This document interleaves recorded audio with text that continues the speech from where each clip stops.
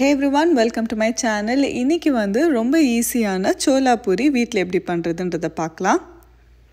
இதுக்கு தேவை முக்கா கப் மைதா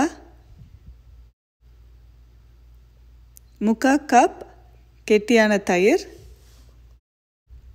கால் கப் தண்ணி பேக்கிங் சோடா கால் டீஸ்பூன் பேக்கிங் பவுடர் அரை டீஸ்பூன் சர்க்கரை ஒரு டீஸ்பூன். ஸோ ஃபஸ்ட்டு இது எல்லாத்தையும் வந்து கலந்து ஒரு ரெண்டு மணி நேரத்துலேருந்து நாலு மணி நேரத்தில் வரைக்கும் நீங்கள் இது புளிக்க வைக்கணும். அப்புறம் மற்ற இன்க்ரீடியன்ஸ் என்ன அப்படின்றத பார்க்கலாம். கோதுமை மாவு ரெண்டரை கப் ரெண்டு டீஸ்பூன் எண்ணெய்.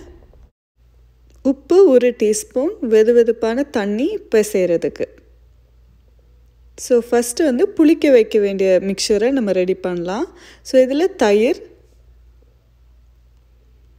Baking soda baking powder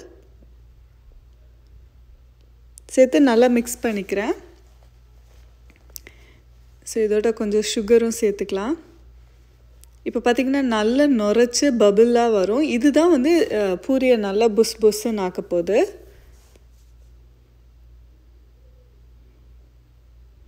so இதில் கொஞ்சோண்டி தண்ணி சேர்த்து ஒரு மாதிரி நல்ல லிக்விட் ஆக்கிக்கோங்க. இதில் மைதா மாவு சேர்க்கலாம்.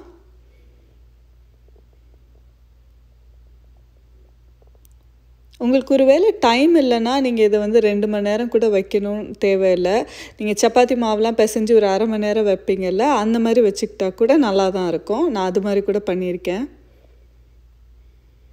ஸோ இதை ஒரு மூடி போட்டு கொஞ்சம் நேரம் வச்சு எடுத்துடலாம். இப்படி நல்லா நுரைச்சி ஃபர்மெண்ட் ஆகிடுச்சு இப்போ மெயின் மாவு ப்ரிப்பேர் பண்ணுவோம். இதுக்கு கோதுமையில் உப்பு எண்ணெய் அப்புறம் நம்ம ப்ரிப்பேர் பண்ணி வச்சுருக்க அந்த பேஸ்ட் இருக்குல்ல அதையும் சேர்த்து நல்லா மிக்ஸ் பண்ணிக்கோங்க.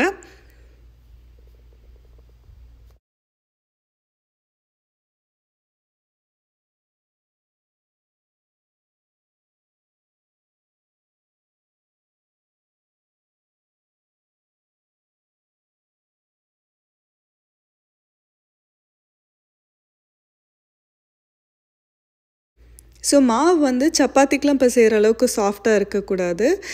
கையில் ஒட்டாத பக்குவம் வரும்போது கரெக்டாக இருக்கும். ஸோ இது மாதிரி இருக்குது இது மேலே நான் கொஞ்சோண்டி எண்ணெய் ஸ்ப்ரெட் பண்ணி ஒரு டென் மினிட்ஸ் மட்டும் விட்டுறேன்.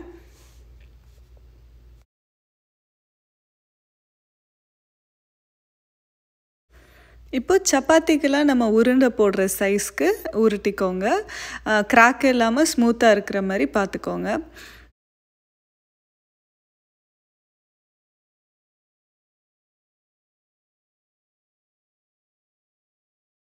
எனக்கு இந்த அளவுக்கு பதினெட்டு உருண்டை வந்துச்சு. இப்போ இதை நம்ம தேய்ச்சி எண்ணெயில் பொறிச்சு எடுத்துடலாம்.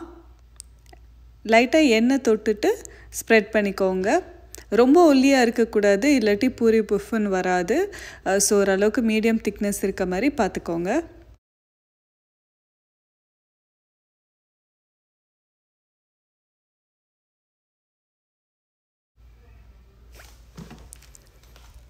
எண்ணெய் நல்லா சூடாயிடுச்சு. இப்போ நீங்கள் மாவு போட்டிங்கன்னா டக்குன்னு புஃப்னு ஆகணும். ஸோ அவ்வளோ சூடு இருக்கணும்.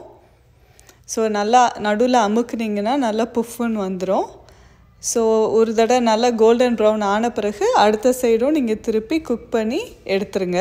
ஒரு டிஷ்யூ பேப்பரில் வச்சுட்டு அது பிறகு சர்வ் பண்ண வேண்டியதான் அவ்வளோதான் யம்மியான சோலா பூரி ரெடி இந்த வீடியோ பிடிச்சிருந்தால் மறக்காமல் லைக் பண்ணி சப்ஸ்கிரைப் பண்ணி ஷேர் பண்ணுங்கள் see you next time until then bye bye